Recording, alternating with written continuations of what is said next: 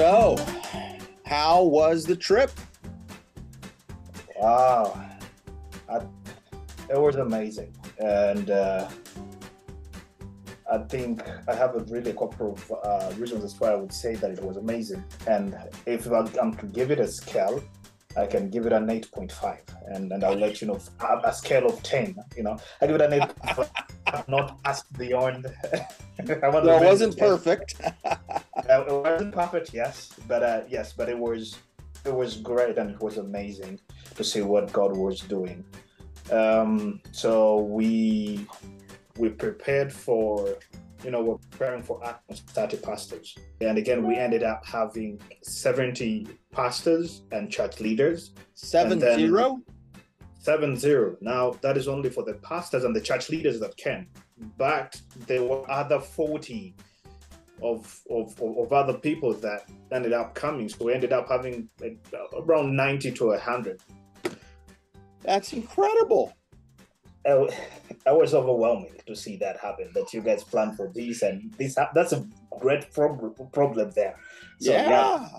What was also amazing was when we saw the, you know, when we saw this number, we asked, you know, how many pastors are here, and, and, then we asked them a first initial question, which was, you know, like an icebreaker, but also creating a safe environment for them. We asked them, how did you become pastors? Before we got to teach anything, how did you become pastors?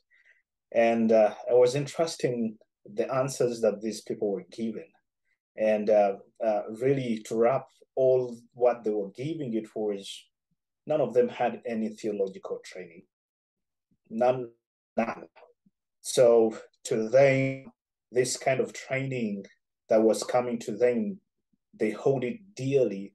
And, and again, I say it's the only thing that they can ever have close to a theological training. Amen. And, and these are old, there were some really old pastors around around 60, 75 years.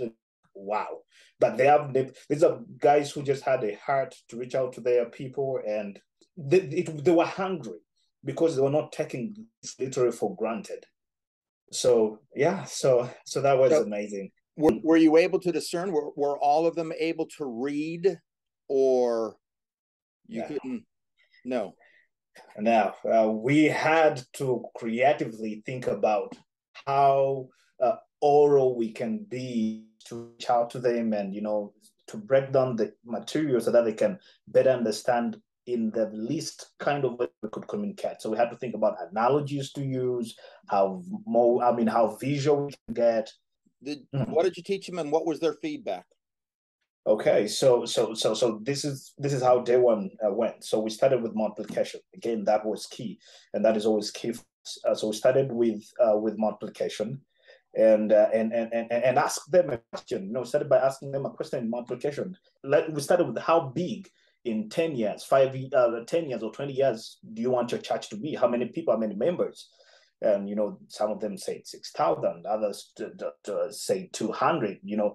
And then we came to also paul knew this and we we, we came to second timothy 2 2 and, and and and we really showed them the uh, if they can only get two where timothy tells well where, where paul tells timothy to entrust what he has given him to faithful men and and then in, uh, uh who will again teach other people. So on these we focused on uh, two keywords that we did not really uh, we did not really teach them the other time, uh, which were uh, which were faithful, and those can touch, go ahead and turn and teach others, as we were telling them, you know, in their search for disciples. So that was very key. After that, the first lesson that we did was one degree off, and again we had to look for which analogy because if we're to tell them about a plane, they, they some of them even their they, they, their dreams they, they don't go there. But we have to think about which analogy, and and and what we came up with was really a very interesting one because we asked them if you're taking your cows to graze,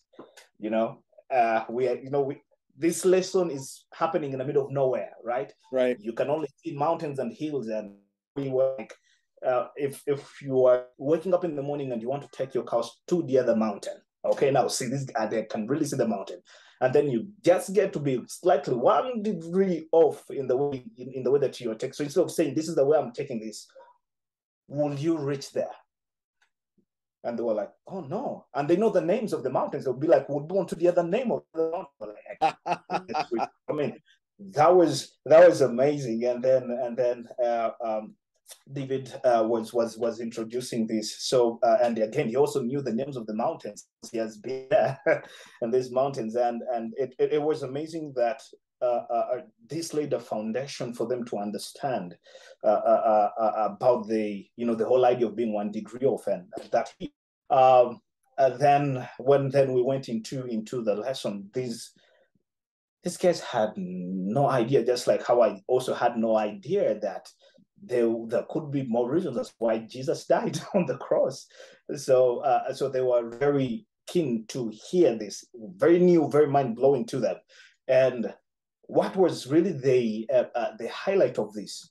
An old man, the one that you call oldest, which would be around I don't know something like eighty something years. After we get done with the lesson and we're asking, what did what have you learned from this? What new have you learned from this? That old man stood up and he was, you know, you know, giving what he has learned and points on and getting actually to repeat some of the things that we have said. So I've learned this and this. We're like, what? How? I mean, and everyone was shocked as well as we were shocked that this guy was able to understand and, and be able to, to to be able, you know, to even give feedback of what he has learned. That was that was really for me a very outstanding. So we ended the day with cat and dog. So from one degree of, then we did cat and dog. That was that was amazing. These guys have dogs when they when they you know when they uh, are doing hunting or you know taking the cows. They have dogs, so they understand, and they also have cats. These kind of illustrations made the points and the training be I don't want to say simple, but you know be broken down because when you're talking about, hey, this is how cats behave, they're like, you know, they, they were just laughing and they're like, yeah, that's true. And this is how dogs behave. that was that was true. But then what was interesting is now getting to shift because they had no idea where we're going. And then having to shift and say, hey, we have two different kind of attitudes and Christian attitudes, and they resemble the cat and the dog attitudes.